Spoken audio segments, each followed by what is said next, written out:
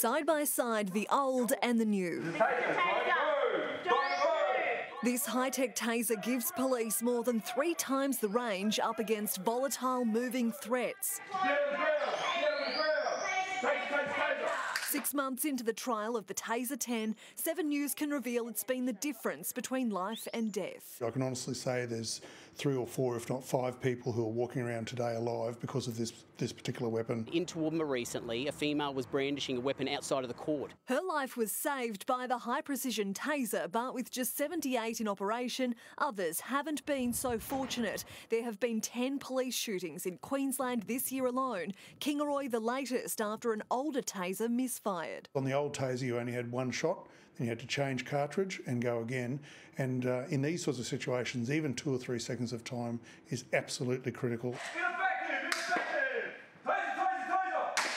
The US technology gives officers 10 rounds. The technology is so advanced it can assess body mass in real time, deciding the optimal energy input to incapacitate the person.